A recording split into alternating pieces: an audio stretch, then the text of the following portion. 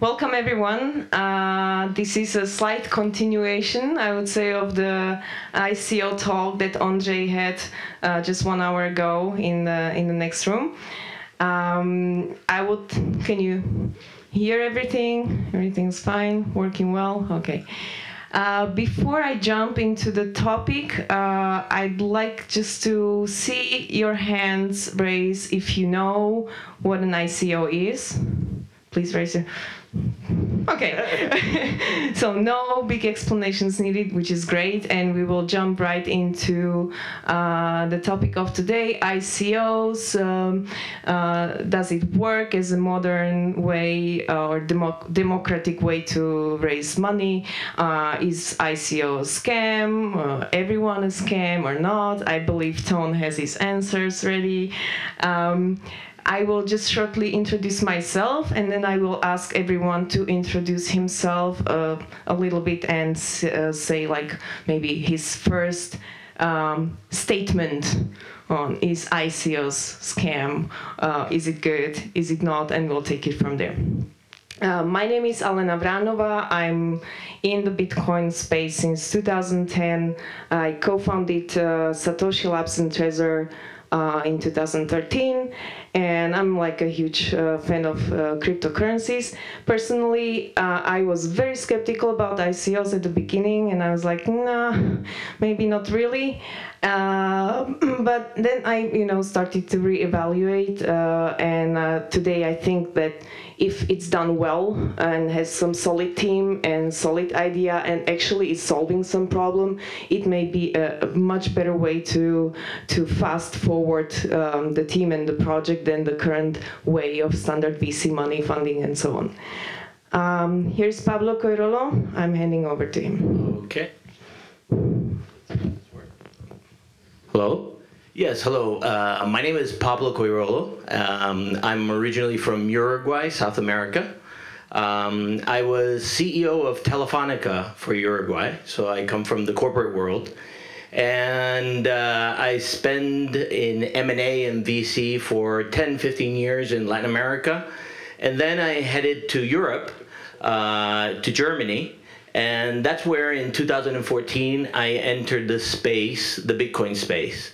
Uh, I'm one of those that started in 92 with the internet and had that oh my god experience.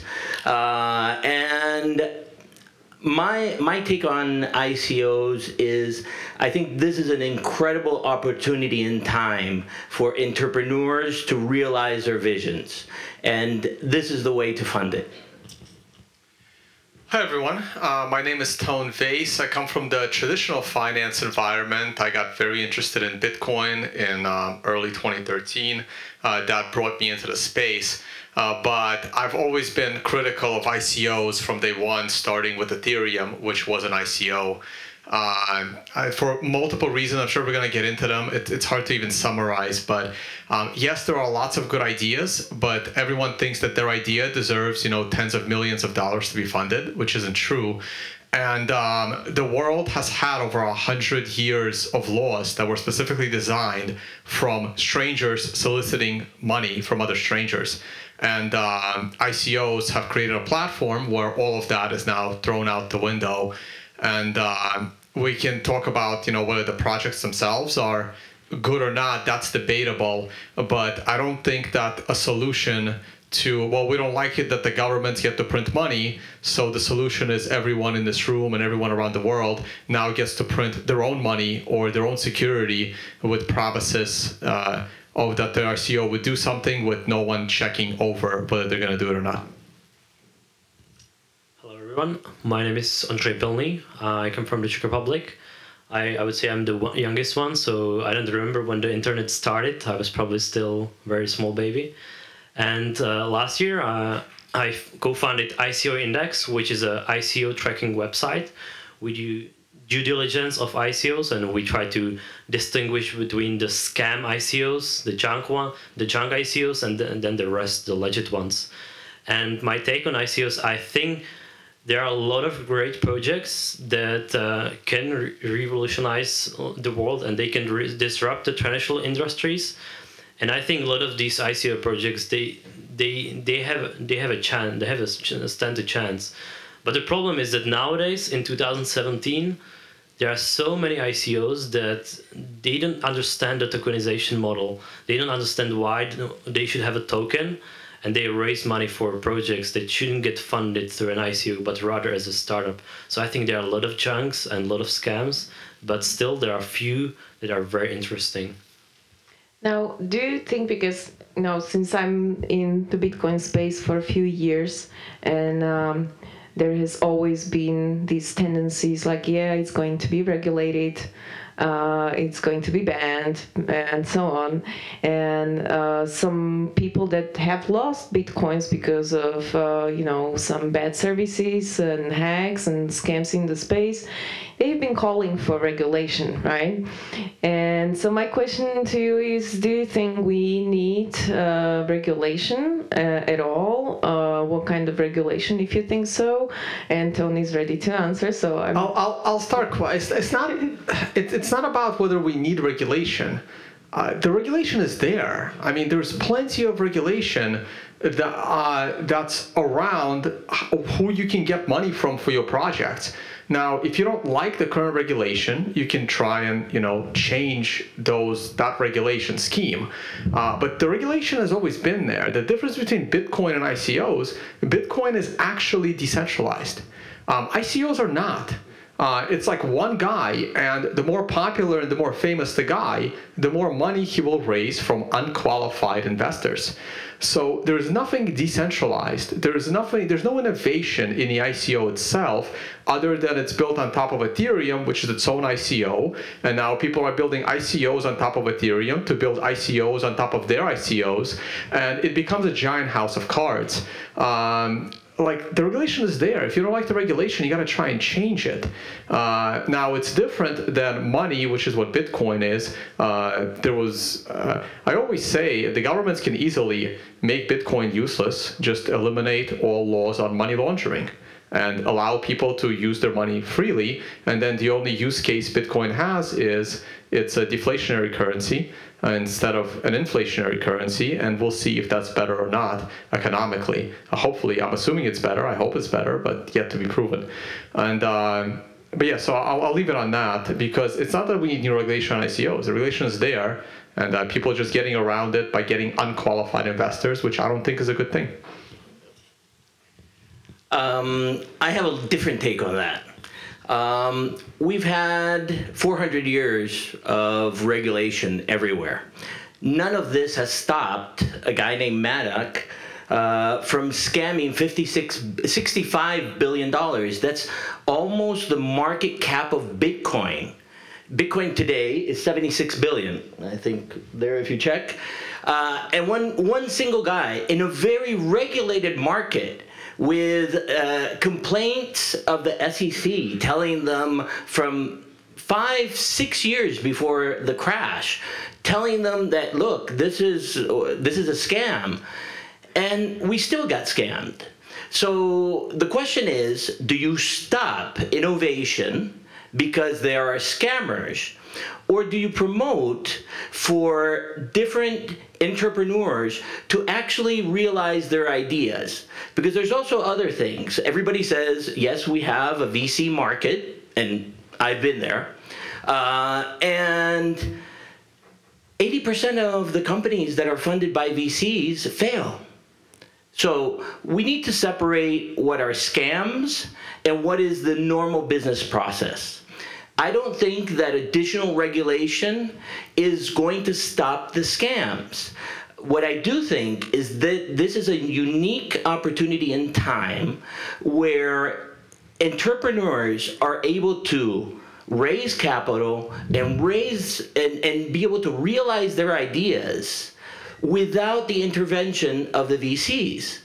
And last year, VCs raised, uh, I believe, in the states something like 56 billion and we've already raised 1.2 billion dollars in the space and the idea that you know we're here to protect grandma there's no grandma investing in ICOs. And if somebody says that, Maybe uh, in Korea. maybe not even in Korea. So I think that we, uh, you know, we really have to do a reality check and say where are we? What will we obtain by over-regulating this something that's just really new? And this is, uh, I mean, we're in the initial baby phases of this. Everybody's taking this that like this is the stock market. The stock market does five trillion dollars a day. So I, I think we, we have to spawn innovation and let this grow. And yes, I think uh, things like yours are interesting because what they do is they help people discern between scams and not scams. How do you do that? I just want to reply to that real Okay. quick. Uh, about Bernie Madoff. Well, you're right. Uh, Bernie Madoff was bad, and the SEC didn't do anything about it, and nobody really did.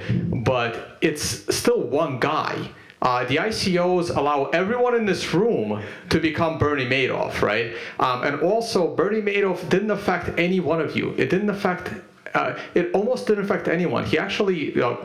Scammed rich people. And rich people have the capacity to get scammed because they have extra money. You said it yourself 80% of the companies that VCs invest in fail. And VCs have a job to pick out potentially good ideas. And this is their specialty. And they are wrong 80% of the time. And this idea that, well, if you let anyone invest, that isn't qualified at all to select. And we, we think the qualified people are wrong 80% of the time. What do you think the success rate would be of unqualified people of investing in these companies? My view is VCs lose money. VCs do not make money. This idea that the rich get to get richer by investing in VCs, I don't believe that is true. I think if you if you got rich at like 30 years old and you put a bunch of extra money, give it to VCs to invest in startups, by the time you're a senior citizen, you're gonna realize they've lost you more money than they've made you. It's just fun to sit at the poker table uh, with your other rich buddies and say, "Yeah, I invested in Airbnb." You're not going to tell that guy that over your lifetime you've actually lost money than you gained. And this is the this is why you expect qualified investors those with money those that are supposed to be college educated a little bit smarter than the average guy to invest the money that they've earned from their other ventures in speculative ventures. Andre, do you think there's a way uh, people can actually become qualified without being the qualified according to SEC, but qualified in terms of being well informed to to take decisions? How would you do that? Okay, so And- first of all, I would like to comment on, on the first on, on the regulation. So as Tone said, like there is a regulation already, but the thing is that these projects, ICO projects, they they didn't ri- realize that the regulation applies to them as well. So they thought that they can actually ignore the regulation, and now SEC, China, Korea, they are all kind of saying they are uh, that ICOs are banned. So now they, they have to pay like uh, the lawyers to actually advise them where do they stand because the regulation is unclear on monday i was in vienna on token regulation summit and it seems to me that most of the regulators they don't know how to regulate icos because they didn't they don't realize that they cannot stop transactions on the blockchain. They, they, they don't realize that they cannot track from which country it comes because people can use vpns so you don't know where from where the, the the money actually comes from. So the regu- regulators, especially in European Union, I think they are still kind of looking at it, and they will they will see what they are, what they can do with it, and I think regulations uh, make sense in some way, but I'm, I'm pretty scared that if uh, European Union will go from outside without understanding the technology, they can actually hurt it and they can hurt the in- innovation because what I see as a threat for investors are, are scams, and scams are usually th- those projects that they can pay the best lawyers. Take for example OneCoin, the biggest scam at all, like in, in the whole crypto. It's not a crypto, of course, but the whole the, the worst scam. They can pay the best lawyers to actually take them out, and they are still not in jail. The worst scams they don't pay developers they, they pay the lawyers and they still get around so these regulations are still not as as effective as they should be to get get down these scams. And what they do is they actually hurt the innovation. And all these startups, they are legit. They need to hire lawyers as well, and they need to spend a lot of money because they don't understand the regulation. So they, for example, TenX is one of the most interesting ICOs. They had to pay 100k, $100,000 for their legal advisors, and for a startup, that's a lot of money. Hundred thousand. They can use it for, for to pay one developer developer for a year. So I think regulation should should be a regulator should be observing the space, but shouldn't shouldn't be stepping now. Mm-hmm. And what we have in a community, we have a self-regulation. So now you can see a lot of ICOs. What they do is they self-regulate what they do is they take steps further they they go beyond the, the regulation and they do things to to provide investors transparency. So they, for example, they try to be transparent as much as they can. They they give the investors all the information they need, and they they they do KYC or regulation even though they don't know if they should. So what they do is they self-regulate themselves because they don't know the rules. So I think this is effective. Can, can I ask a question? So, um, which IC? So, um, in the let's say the top twenty, the top twenty by market cap, which of those ICOs do you did, did your website consider scams, and which ones is are not that are in the top 20 or are they all legit in the top 20 from the top 20 uh, like anything off the top of your head. Yeah from the top 20 there's one scam that i'm sure it's a scam it's a ponzi scheme. It's called bitconnect coin. It's a it's a it's a just ponzi scheme. It works as a ponzi scheme. It looks like a ponzi scheme. And, it is a anything scheme. else that did not pass your radar in the top 20 um, there are definitely some or close enough to the top 20 uh, do you mean like a, as a scam or not? As a, as a scam, and then we'll talk about like two examples that aren't. Um, I would need to check because these top 20 changes quite often. Right, right. Like in the vicinity. In the, something people heard of is okay, what, some I'm, is what I'm going. It is a scam. Yes. Which one? So the Bitcoin, Besides BitConnect. Um, I think one was called LAT. I think someone mentioned it in, in the presentation before. LAT token or something like that. Okay, so which ones do you think are legit? ICOs. Ethereum. You think Ethereum is legit? Okay. Yes, Anything like not as popular as Okay. Ethereum, you think is legit? Okay. Lisk. Because, uh, Lisk. because for me to argue Ethereum is very um, com- is, is, is a long conversation. Okay. So, for example, Lisk. So Lisk is Lisk the loaning thing? Pardon? Is that the loans? Lisk. No, no, no, no. Which It's it's a. I would say from a basic perspective, it's similar to Ethereum, but with I'm the difference that Okay. they use JavaScript or the, the developers can use JavaScript Okay. develop on top of their. All right, so I'll, I'll briefly mention Ethereum and why I don't like Ethereum and why I've always been skeptical of Ethereum from day one. I'll, I'll make it quick. I have four points on Ethereum. You have one minute. One, one, sure. One, one is regulatory. I think they broke uh, all of the laws on securities by creating a token that didn't even exist a year in advance as an investment vehicle. Uh, the second one I think is technological. I don't think their blockchain can scale. Uh, it's uh, I don't know anyone that's able to maintain the whole blockchain. Uh, the third one is functional. I don't believe contracts need to be decentralized because no one is censoring a smart contract. And the last one is economic. I think it's completely crazy to create an app token. I don't recall Amazon charging Amazon stock for their products or Netflix charging Netflix stock for their products. But Ethereum has an idea that you have to create your own currency slash security in order to pay for a smart contract, assuming smart contracts are even needed to be decentralized.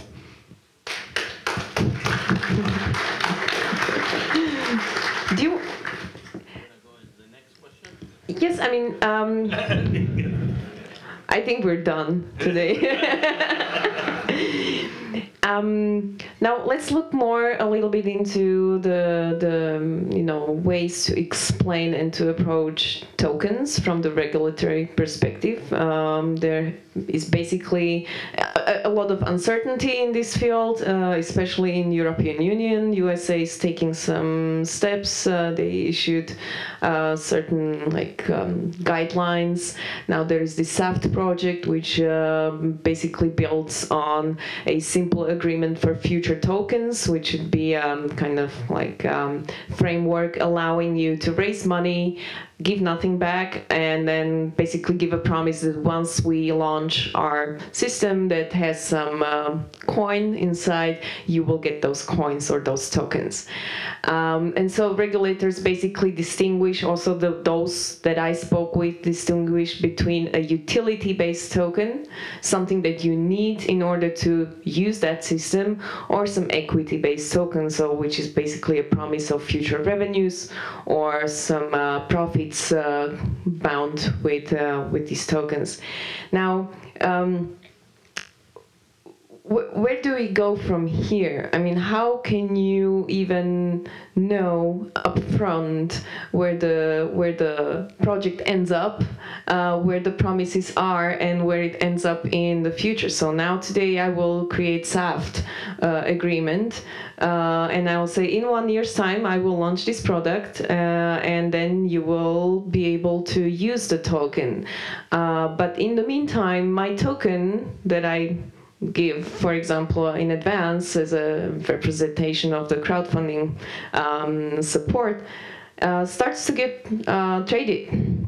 And now we run into issues with, with regulators, especially the US regulator SEC, uh, because once you have some uh, token that you claim to be um, to be utility token, and then the utility token is openly traded, then it's more like an equity or an asset, right? So, what's your take on this? Um, um, this is very interesting because I, I've been with both the Liechtenstein and the Swiss regulators. Uh, speak not the regulators. I've spoken with uh, the lawyers in Switzerland and the regulator in Liechtenstein. And basically, what, what's really happening here is there's a lot of people who have really good ideas and there's a lot of people who are scammers and and I again uh, I, I in this in the future and if today we're you know tomorrow is the year 2575 we're going to be talking about somebody scammed somebody. So I, I think that that that that you know there's a really good book that says 400 years of scam that I was talking about that that that is going to happen but we need to be able to separate this and and in terms of the token and the utility token a lot of these ICOs basically what's happening is how can we make our token not a security and that's the discussion of why they've come up with, oh, it's a utility. And then they try to find a way for this token to work in their economy. Uh, just so they're not regulated by the SEC. Uh, and again, everybody's scared of the SEC. It's not any of the other regulators. Uh, it's the SEC. And is the SEC going to come after you? So basically, all these things, the SAFT, the utility tokens, are trying to not be regulated by the SEC. So what I think is there are ideas out there that actually use the token as a utility that's used in the system that that they have the idea of how the economics works.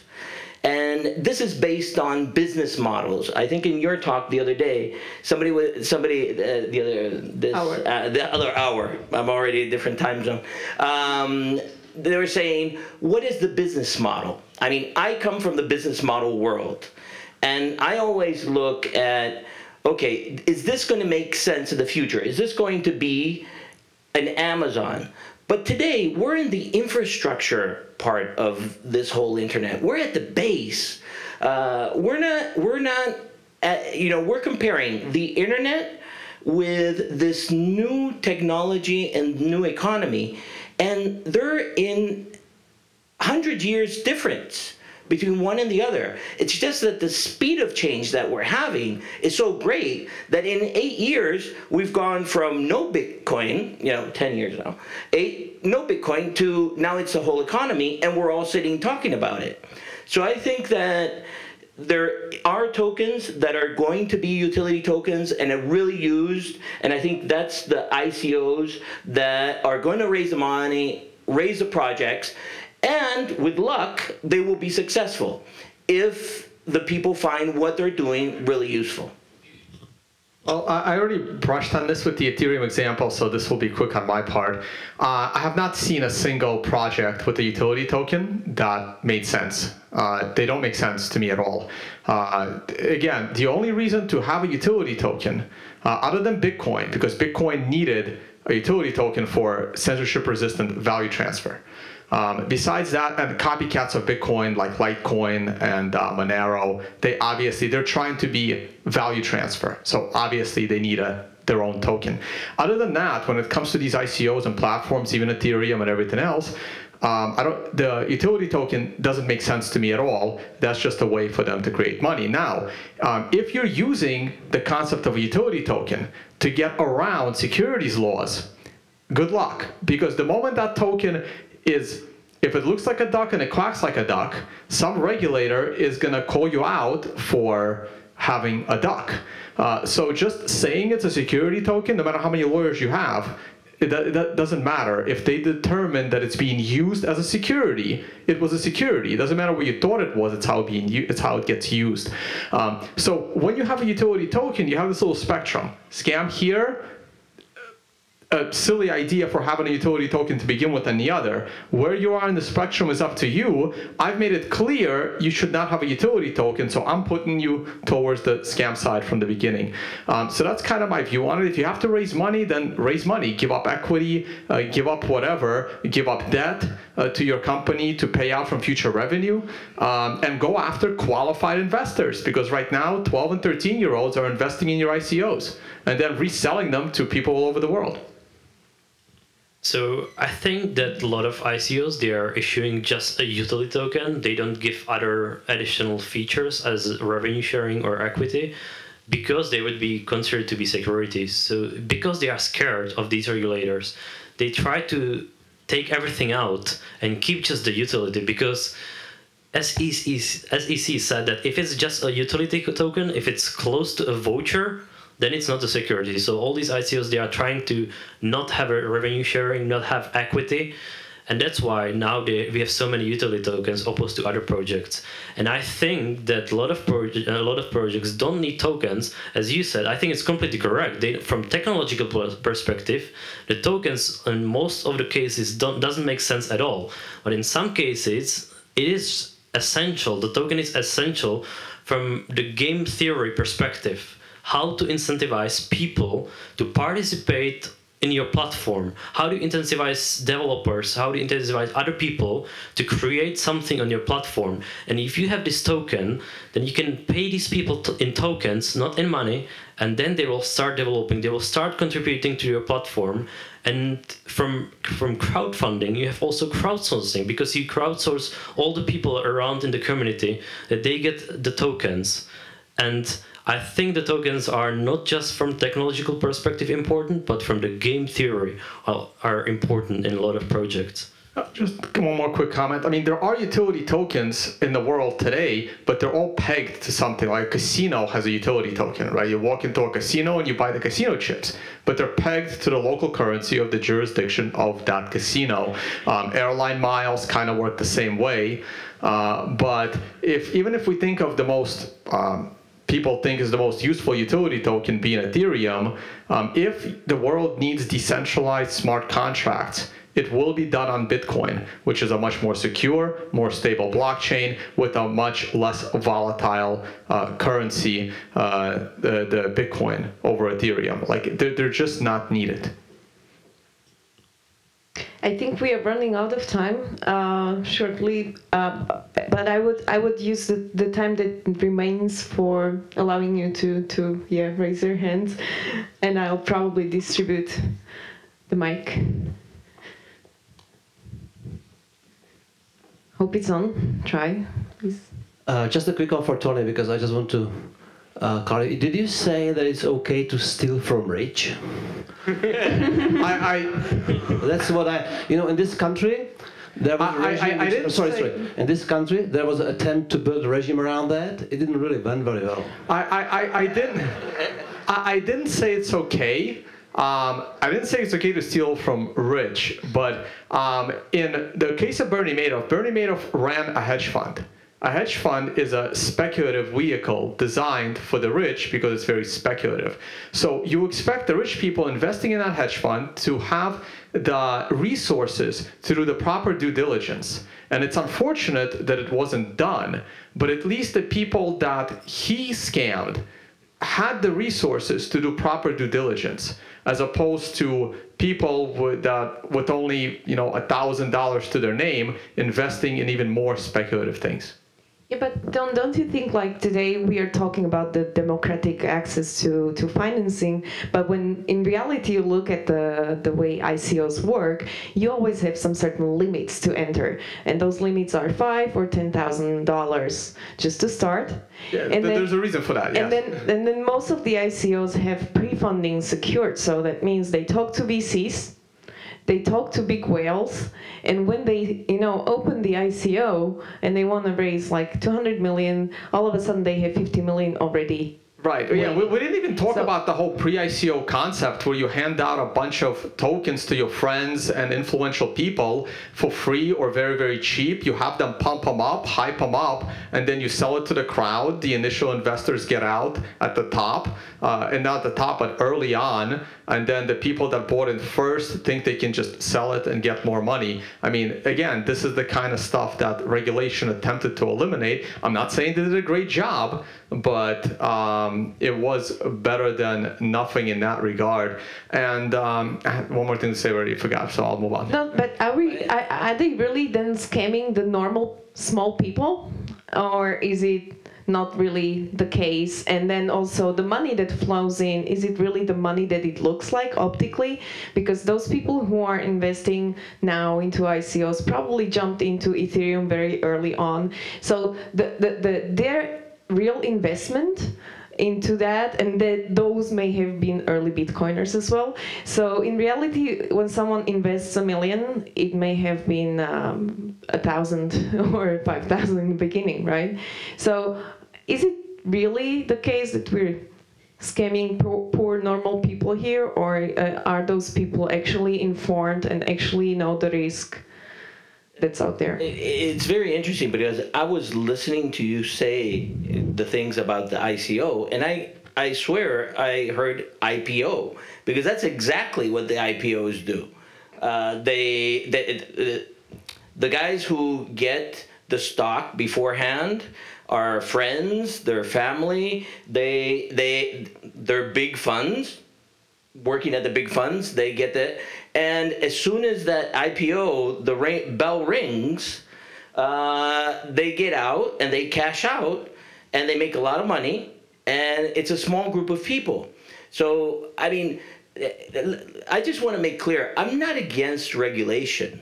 What I am against is every every circle is including the same people and you know i'm not against rich people no i'm not uh, but it, it they make the game for themselves this is the first time that they can't play in the game or they don't understand how somebody else is controlling the game and it's not them and and that's what i'm saying is happening in terms of the ico market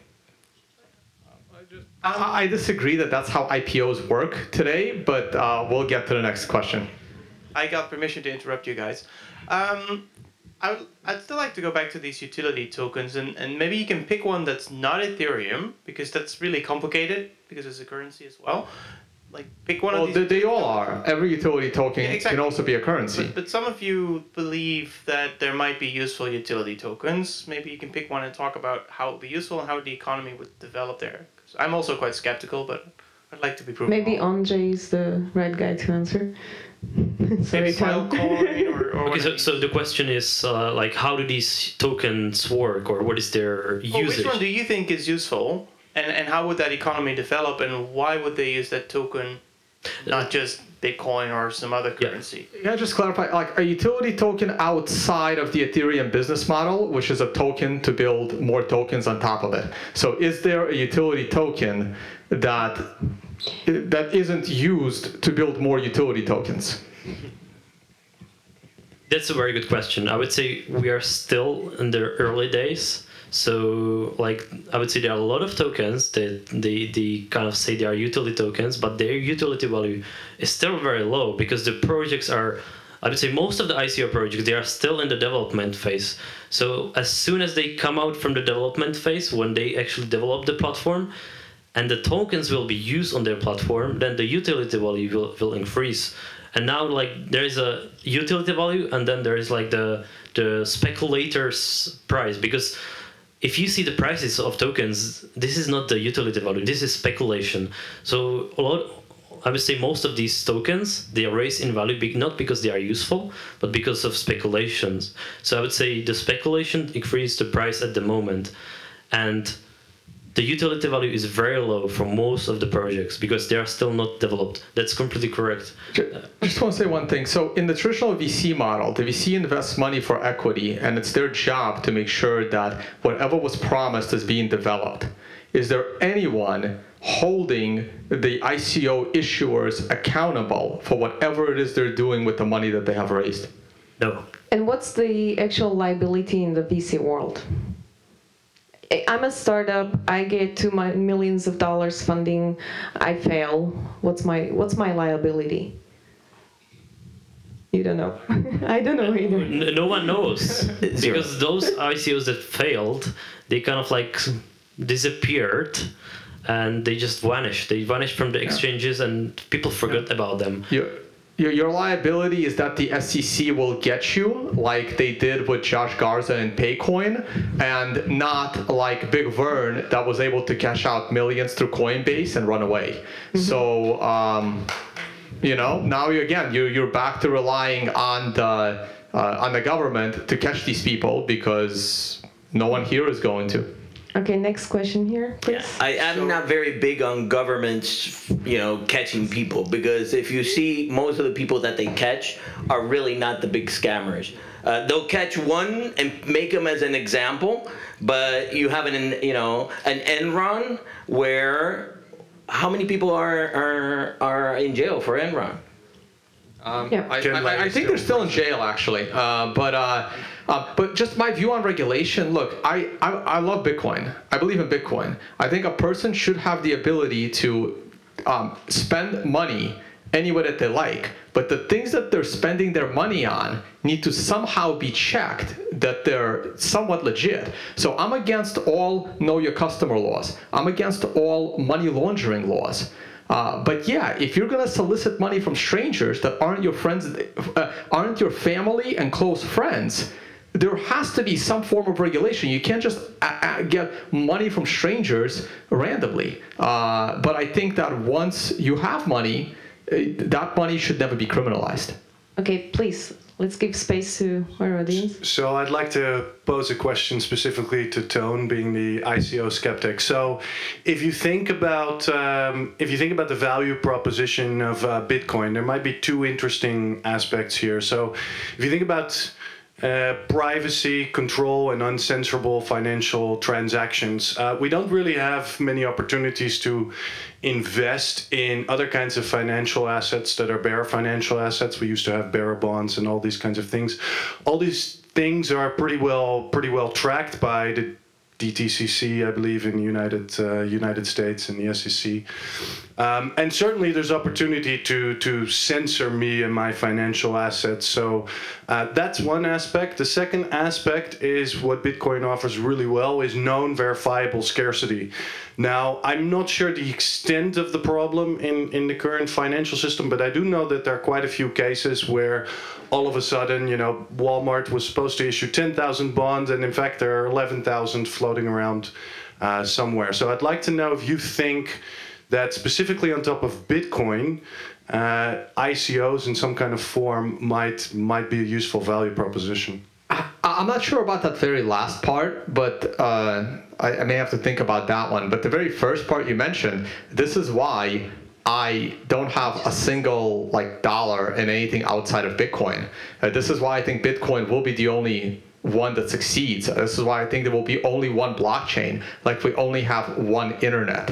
And then everything else is just uses the internet, just like many things will use Bitcoin as the censorship resistant, unconfiscatable value transfer. And that's why I believe in Bitcoin, but everything else is just the reincarnation of everything tried before, only on top of Ethereum, which I don't think is gonna last. So I would like to ask to the pro ICO part of the panel uh, again about utility token. Assuming that uh, this uh, uh that this platform do need a, a, crypto token, let's assume that. Assume that this crypto token cannot be Bitcoin, as Tone said. Probably, if you need a crypto token to pay for the service, you just need to integrate Bitcoin. But assuming that is somehow infeasible or not possible, and it, this doesn't damage the project itself, creating more friction. Assuming that there is scarcity because in most in most cases uh, there is not. What is the reason why some somebody everybody should think that this utility token, even if it makes sense and even if the project gets realized, will increase in value? So why do you think that people is investing in utility tokens? Because even if a utility token makes sense and the project is realized, uh, the price of that, the price of a service of the platform will not increase in time. Uh, uh, I, I, can buy the price, the, the service of the platform also later, and what I'm getting, buying it before, is just also the, discounting the risk that the platform doesn't get built. So there is no reason on earth why a utility token should go up. So isn't that people is buying utility token for anti-SEC purposes, but they are just thinking they are buying equity token in disguise. Uh, uh, all the effort to this to, to, to make a real utility token uh, is probably uh, paired with an effort to let people think that they are buying the value of the project, a share of the project. So the final part of my question would be, why not instead just work on the real censorship resistant anti-regulation uh, equity token or security token. I mean, Bitcoin is, uh, is violating AML KYC. Let's create some real uh, security token violating SEC completely in a censorship resistant way, well, anonymously, Satoshi-like. My, my, very short answer is uh, you can't make money from that and no one will fund your project. I, I mean, I think you have to separate the two, okay? Um, one thing is the project, and other is what the investors want from the project. Okay, so there's two right now in the beginning. We have speculation.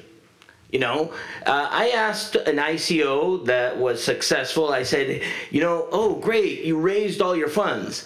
How much of your funds do you think were raised by true believers in what you were going to do? And they said 70%. And I was like, no, it's the other way around.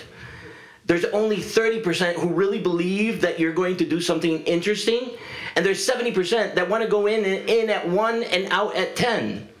Now, each one, the investors in that sense, they want to go in and out at 10. Now, is that wrong? Is every investor in stock uh, of Apple have Apple equipment? You know, so so the thing here is if you are doing an ICO and you really have an idea that you think will change the world because everybody is going to change the world okay? And the the only people that really change the world, and paraphrasing Apple here a little, is, the people who try. And if what we're trying to do is stop those people who try, because we say all of them are scammers, then we're stopping this innovation in this uh, initial moment. We are at the at the birthplace of this. All of us in this room Yes, we know about Bitcoin, we know about blockchains, we have. Go outside here, this room, and start talking to people, and they've heard of Bitcoin, but they have no clue of the rest, what's going on. The people who are investing in these ICOs are people who want to go in at one and out at 10 and have already done so. If you talk to some of the people who manage many ICOs, they say they have repeat customers. Uh, they th- because they went in at one, they came out at ten. Now they have ten. They go in at uh, they go in with five. They go out at twenty, and boy, this for them is working. Most of the people don't even read the white papers, you know. And the thing is, let's do a reality check of what's really happening. That's the only thing that I'm saying.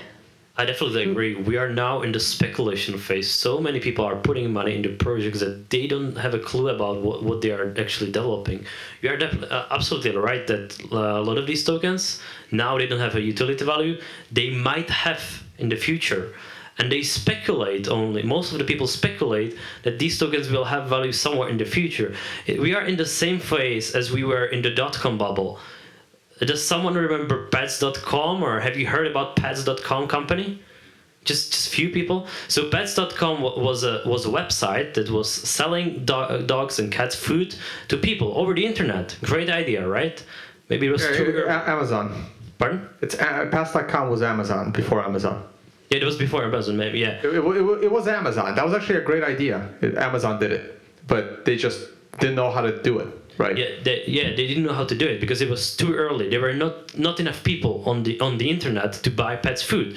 So and and this company had like maybe hundreds of million of valuation. It was just speculation because people expected that once uh, the internet will be big, this company will also have a value. But they failed. So now we are in the ICO phase when it's just speculation. No one actually knows which of these tokens will be in the future useful just just few of them just uh, I, I was talking about it in, in the presentation there ne- next door and i was saying that 2% of all the tokens could be actually useful maybe it's even less i don't know. We are still in the speculation phase. As, as you said most of the people they, they participate in ICOs is just because of money. They want to speculate they want to earn money from that. So now we are in speculation And, phase. And, and the idea is pets.com is Amazon. It's the same exact thing. And this is why you know you let qualified investors with money to lose invest in these things and once one of them actually shows itself um, it goes IPO officially because it's been vetted and it's legit and it has revenue, and then you can buy it. Everyone is mad at Facebook. Well, guess what? Facebook IPO'd at 40, it was overhyped. Within a month, it dropped to $20. Any one of you in this room could have bought Facebook stock at $20. Today, Facebook stock is like 250. Could have made 10%, it uh, could have made 10x on your money by buying Facebook after Facebook has beaten out you know dozens of other social media networks but if you invested in every single social media network as a pre-ipo back in those days you probably would have lost all your money because there's no way you would have picked facebook you probably would have picked myspace and this is why you let the qualified investors be speculators and you can buy it right after the IPO and still make good money. People are upset Facebook is making all the money on your content. You could have made 10 extra money. All you have to do is buy Facebook stock. It's still available right now today. And it's a legit company. Don't listen. It's it's interesting. We have one minute, and I would like to give a chance to this lady here to give her question she's been waiting for. Uh, so um, anyway, we all know that most uh, tokens, shit coins we have now are chewing gum wrappers. They're not utility tokens. They're like collectibles, beads or shells. Uh, at the same time, I believe that it's a fundamental right to actually be able to print your own currency, right? So the question to the whole panel is, what is your dystopian scenario? Imagine there's no regulation, there's no SEC, there's nothing and we just all allowed to print our own shitcoins. What is dystopian scenario? Is it like Chinese grannies launching their own ICOs? Like, what would it be the worst thing that can happen? Thanks. If uh, I mean, I'm not a big fan of everyone printing their own money. I think it's a complete disaster. No one would know what's valuable. Uh, this America had this problem in the 1930s when Andrew Jackson eliminated the Second Federal Reserve Bank, and every bank started printing their own money. And no one on the other side of the country knew if the money was legit or fake. And the Secret Service was created as a primary means to separate, you know, fake money from real money. It's still the primary objective, But and protecting the president sorry, is second. The question is not fake money, like copies of other money, but your own money. And for example, Europe has a huge history of local currencies uh, that have had a specific purpose and they were valid in that Right, of but they're very local currencies. But in this case, you want to export that. Like if you take some European village and you take their money outside of that village, everyone is going to look at it as monopoly money. No one is going to accept it. It's right? all right, but for the purpose and the space where it has been used, it, it was valid. It was not a scam. Right? Uh, I mean, I think uh, I, I agree. Everybody can print their money. It's not a question that you print the money. The question is, will the market accept it? And in the end, I think, is it going to be Bitcoin, which I think it is? Is it going to be something else that we don't even know about right now? Um, right now, everybody's thinking on Facebook, Amazon, whatever. We're not even there yet. We're at TCP/IP. Uh, that's where we are. And, and, you know, everybody's thinking of the Amazon. That's going to be built on top of this infrastructure. Right now, we're at BitNet. I, I don't know if, well, most of you might remember BitNet, but that's where we are. And, and the thing is that we're trying to regulate Amazon when we're at TCP/IP and connecting to routers. So I, I, think the if there's one thing that you take out from here, at least from my perspective, is think really where we are and think that if we stop this at this moment, there is going there's not going to be innovation. There's not going to be this brave new world that everybody wants to create. Uh, uh, just just a closing thought. Uh, in the dot com bubble, like 98 to 99 percent of all of those IPOs they failed and they went to zero. Maybe there'll be one or two of these out of these thousands of ICOs. Maybe there'll be one or two of them that succeed. I'm skeptical that there even will be one or two. But suppose there is one or two. Uh, do you really think you're gonna get that one right? Uh, That's what most people think. And, and those people will learn a valuable lesson. And what I don't like is all those people then run to the government for them to do something. Uh, everyone always says people should make their own decisions. I worked at Bear Stearns during the financial crisis. Uh, the whole bank went down. I mean, I was kind of lucky. I transitioned to JP Morgan. Most of the people didn't. I don't remember anyone taking responsibility for buying an overpriced house. Everyone blamed Wall Street and wanted everybody arrested. So um, that's kind of my view on things now. Yeah, maybe it's like in the US, like like you explained, but I would say that in Europe, like the governments are not like in in such a way protecting like the people from from these things. Like I cannot imagine that like I would lose money. I know it's my mistake. I know I made a mistake. I wouldn't go somewhere to a government. I don't know what is the, what is your opinion, but I would definitely know to will not go to a government because I know that I'm taking a risk. What you are talking that most people they will lose money, which is which is true and I th- I agree that they will learn their lesson, and in the future they will understand more because they know that. I, I don't think they're gonna learn their lesson because the DAO showed us that, right? The the, the very first, like, like when the DAO um, like dropped the price of Ethereum by like 50, 60 percent, 150 million was was um, I, I wouldn't even call it a hack. It was like uh, you know someone actually read the code and took the money. And um, I was hoping people would learn their lesson, but then the Ethereum Foundation and Vitalik reversed the chain, gave people their money back, and hey, we just got a bailout. Nobody learned their lesson, and here we go. You know, maybe if they didn't reverse the chain, this wouldn't be that bad right now. Okay, I, I will have to close this. I'm very sorry. Maybe I will just say one more like final thought from myself. Um, we are all striving for personal freedom, and freedom comes with responsibility. Uh, so I believe like it's our chance to start. You know, stop. You know, asking to be babysit uh, by the governments and by the authorities and just start to learn and sometimes those lessons to learn will be hard but i think those are necessary and i prefer and i choose freedom over being regulated and, and babysit. That's just my personal. Thank you everyone